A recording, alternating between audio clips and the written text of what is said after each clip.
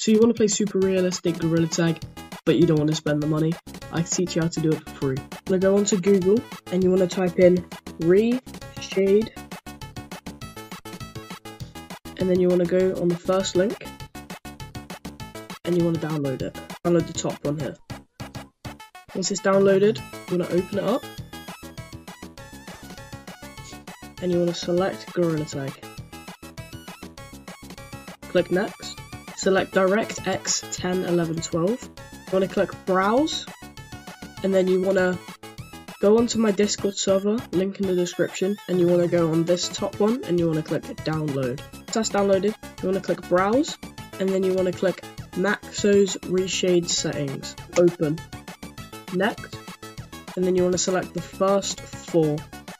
And then next. Next. Next. Finish. Then you want to go back to my Discord and click the second link here. It will send you to a Google Drive. Download here. Once that's downloaded, you want to open up Steam, right click Gorilla Tag, manage, browse local files, right click on file, and then you want to go onto downloads, drag that over to a different side, right click, extract all, extract. I'm going to go into the Gorilla Tag textures, and then you want to open this that you just extracted, ray tracing, and you want to open textures here, and textures here. I already have it, but you want to drag this blue noise into here. Oh, it won't say this for you because I already have it downloaded. And then you want to uh, go back and then go into shaders, go back onto this one, go into shaders, and then you want to drag this Quint file into here. I'm going to replace it obviously. And then you want to open Quint on both of them, highlight all of these and drag them over to the Gorilla Tag Quint. I'm going to replace mine. Which Gorilla Tag? Type display depth.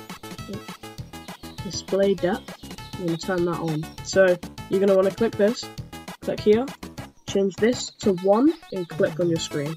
Go over to the second number, change that to 1, click the screen again. I'm going to turn off display depth.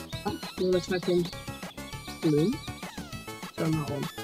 I recommend uh, turning it down like a lot because it's very bright most of the time. I normally put it on like around this 0.700 to 750 and then you want to type in MXAO and then you want to equip that one as well and then RT Global and turn that on as well and then V-I-G-N-E yeah this one you want to type in that and then turn that on and then click home again all you have to do to to get super realistic Gorilla Tag. If you found this video helpful, please like and subscribe, it helps so much, you would understand. And yeah, thanks so much for watching this video. Bye.